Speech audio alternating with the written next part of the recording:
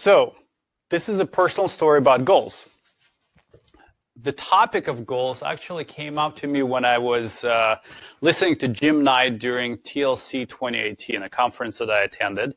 And Jim was talking about setting goals for teachers and educators and coaches and how it all works together. And one of the things that he mentioned as an example was how he uh, thinks about setting a goal for himself to do a Boston Marathon. And I started thinking about like, what are the goals that I've set for myself and uh, how do I go about achieving these goals and kind of what is, what is the relevance to my life and goals. And one of the things that I thought of was um, um, I got into triathlons and, and was thinking, how did I, how did I get there? So uh, it all started with a friend of mine, Eugene. We've been friends for a long time, uh, ever since high school. And he's a swimmer, um, and we do a lot of things together, like uh, camping, backpacking. And at some point, he started telling me that he would like to do triathlon. Um, and it started with maybe some texts, where every time he would bring it up, I would say no, no, no. Uh, but he's a persistent guy, and so he uh, he really wanted to do it. And so he eventually talked me into uh, getting me to let me think about it. And and when we all say let me think about it, it's uh, sometimes it's uh, pointed around assessing where we are, and sometimes it's coming up with excuses of why we shouldn't do the things that people are asking us to do. So I've thought about it and running uh, as part one part of the triathlon. Uh, I haven't really done by 2015. It's been three years since I've done triathlon or done any kind of running. This is my actual Runkeeper uh, graph where I was pretty active in kind of 2000, 2010, 2012, but haven't done anything in three years. Um, I've never done any races. Uh, my best race uh, was Bay to Breakers, where if anyone done Bay to Breakers, there's a lot more nakedness and beer drinking than actual competition. And um, since I wasn't feeling very positive, I never would have described myself as a, as a runner. Uh, this is my biking experience. Um, also, you know, I had a bike, and with my kids, I would go biking once in a while. Uh, this is particular one in Colorado where I fell in a flat spot uh, to much joy of my kids who always never miss a opportunity to make fun of their dad, um, skiing, biking, anywhere where I can make a fool of myself. But that that was the extent of my uh, bicycling experience. So not really uh, bicycling. Um, not really a swimmer. I grew up in Odessa, Ukraine, which is by the coast of Black Sea. So I could swim. I could stay afloat. Um, not really any kind of distance swimming. Um, maybe the biggest distance I've swum, maybe 50 yards, maybe 100 yards, but really not a comfortable at swimming on a competitive level. And in fact, uh, probably about two years before 2015, when Eugene asked me to participate in triathlon, I, I tried to swim in Hawaii and, and I thought I was going to die because I really underestimated my own abilities. And so it was still really fresh with me. So not the swimmer. Um, lastly, there's this. Um, open water swimming, everybody knows there's sharks. Uh, it's really dangerous. So in my mind, I wasn't really prepared for any kind of a situation like that. But I just turned 40. Uh, Eugene was very persistent, and so I decided that I can do it. I can try it out, and I'm gonna think about it really hard how to do it. So we picked Santa Cruz Sprint Triathlon.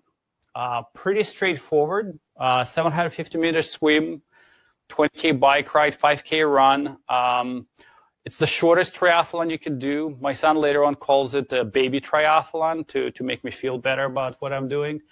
But this is really the, the goal, and this is what um, this is what we had to do. So to solve that goal and try to kind of get to where I would be comfortable doing it, I decided to apply the Martian strategy, the Martian, the book.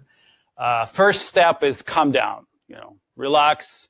It's doable. Lots of people do it all is going to be okay. Then identify the hardest challenge. Uh, where am I the weakest at?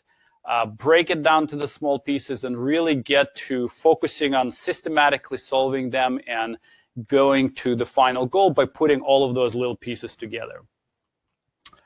Uh, just in case you're wondering, swimming was the thing that I was worried about the most. Um, I, I've looked at a lot of videos of people learning how to swim and, and, and really focused, broke it down, learned how to breathe, started practicing on a regular basis, uh, went out to water, open water swim to get comfortable with uh, uh, dark water. Um, and in the end, really decided I'm, I'm, gonna, I'm gonna get there. I started swimming a little bit more every day, eventually getting to half a mile. And one of the things that really helped is the videos that I found on how to psych myself up.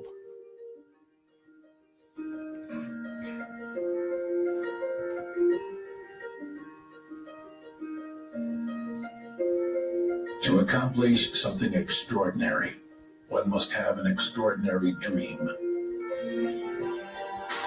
A goal so high, a journey so demanding, that its achievement to most seems impossible. So, building it up in pieces. I, I we went together. We got two sports done. We've done. Uh, I borrowed a bike from Brian, my friend. I borrowed a wetsuit. I worked getting up to 5K and and really worked on getting to just surviving one full triathlon, slow transition, not paying attention to anything like that. So finally, the day has come.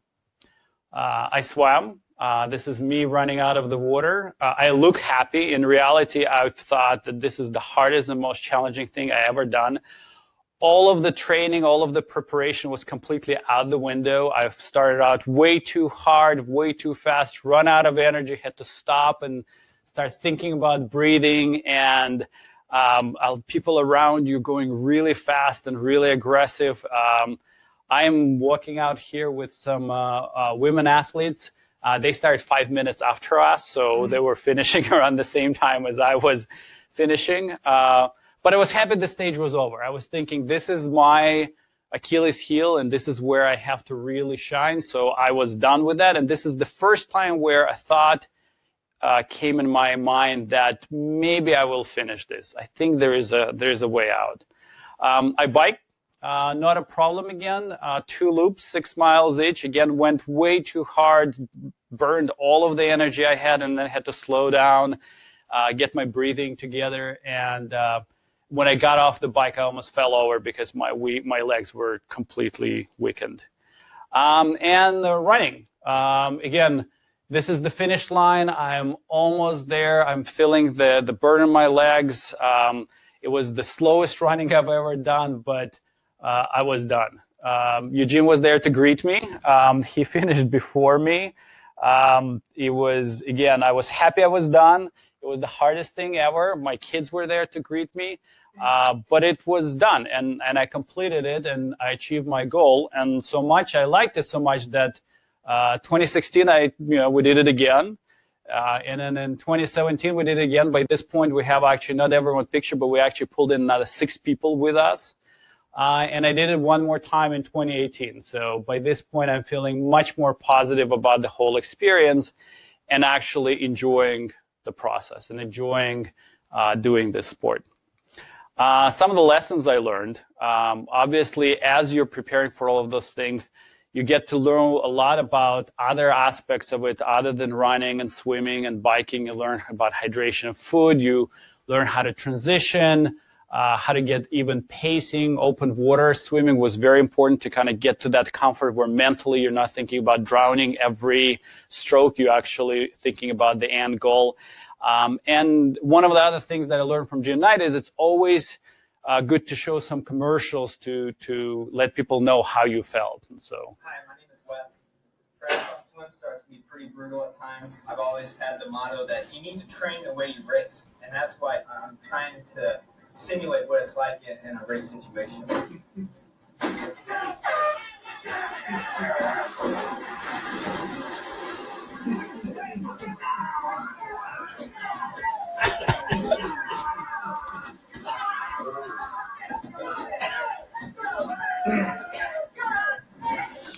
It does feel like that sometimes. Um, what I learned for myself was setting a goal actually drives my behavior. It drives how I prepare. It drives the things that I do. Uh, 26, 2015 was uh, the first time I did it. I just wanted to finish. 2016, actually, I set no goals. I, I kind of went into it with a, pretty much the same preparation, did as well as before. And really after that decided I'm going to set some goals. I'm going to try to get better from year to year and, and actually explicitly measured and set goals, which then drove my training, drove my preparation, and drove my achievement. So I was actually able to get pretty close to my goals and, and uh, learn a lot about myself in the process. Um, preparation is key, but uh, don't get injured. Uh, this is, uh, again, a graph from my Runkeeper where like 2017, I was doing a lot of preparation. Then I, I, I hurt myself, hurt my knee, and uh, I had to actually stop training for a while, do physical therapy. By the way, physical therapy is another area where they're really focused around goals. When you get into physical therapy, the first thing he tells you, you'll always have pain. I'm just going to teach you to manage pain, but what are your goals? What do you want to achieve? Do you want to uh, get back to the way you were doing, or do you want to achieve better results, or do you want to have a quality of life? So all of those things are important, and again, goal-oriented preparation. Um, one of the things I learned, uh, how to fight sharks. I said advice to everyone, you know, do it very careful, but totally possible. Um, last few things I learned about myself in the process is I can't be obsessive. My friends joke now that I am pushing them more to do stuff around triathlon. Eugene is at this point kind of pushing back at me. It's like, yeah, yeah, yeah, I'm gonna do it, but you know, just take it easy, Vlad. Um, goals help me stay focused and stay oriented. Uh, I really like the social engagement. So doing it with friends actually very helpful. Uh, Jim mentioned that sometimes setting goals as a group can be difficult, but I actually found it very uh, helpful for me where I have others who are doing the same thing with, with me. Here's some of my next goals. Um, I'd love to do a triathlon somewhere else, for example, in our Kiev office with some of our coworkers who are uh, doing a marathon or did a marathon. Uh, I'd like to do a longer distance one. This is the very first Santa Cruz uh, Olympic triathlon. And I'd love to be like that guy, Dan. It, uh, he's on the cover of Money Magazine, 100 years old, still doing uh, marathons. So I think one of my long-term goals is to stick stick with the sport and um, get better at it. And uh, as a final one, I'll leave you with a meme that I feel a lot of people feel like when I'm doing these type of presentations and conversations. Thank you.